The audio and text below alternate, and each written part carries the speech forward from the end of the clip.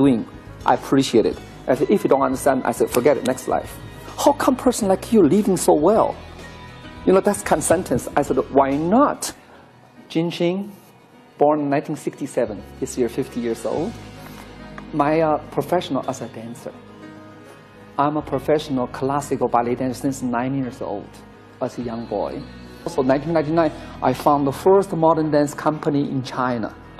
I know myself clearly as to be a woman when I was six years old. When I was 19, went to United States learning a modern dance. Then I decided, okay, now I have to become myself.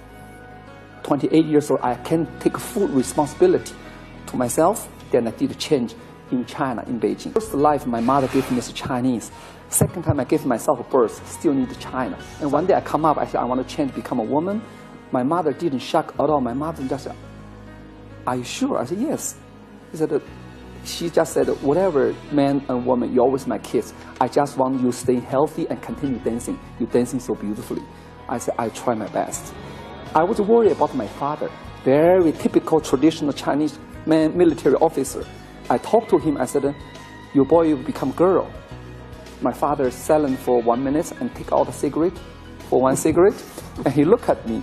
He said, finally matched. Congratulations. Wow. Even my father went to the local police to change my identity card.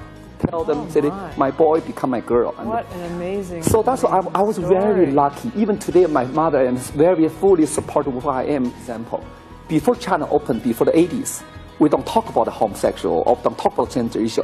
And you can often see two boys holding hands walk on the street. And people thinking they are good friends, they are buddies.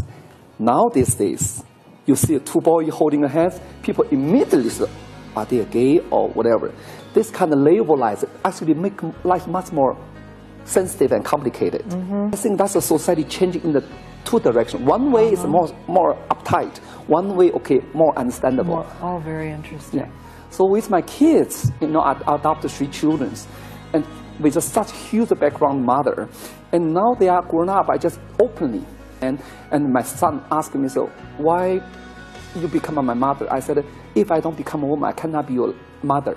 The society doesn't allow it because I love you so much. I was waiting for you so long. I have to become mother, then I can have you. Then fine. My three kids grown up beautifully and open up. Even went to school. People said, "Oh my God, your mother's so famous." No, she was a man. And my son said, "So what? Mind your own business." Oh, very interesting. Eight years old, have a strong sentences. I think that makes life now beautiful.